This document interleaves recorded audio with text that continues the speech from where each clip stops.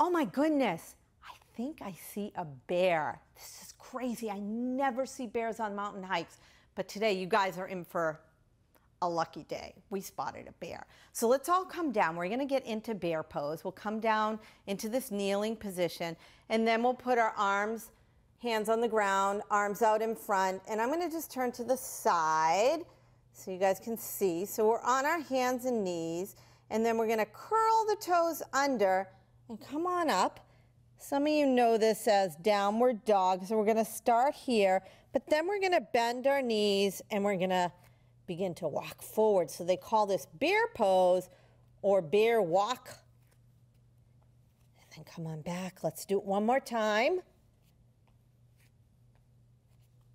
And one more time back. Step, step. Be very careful. Good. And then we'll come back into this downward dog stretch one more time. Oh my gosh, so exciting. We saw a bear. Great job, everyone.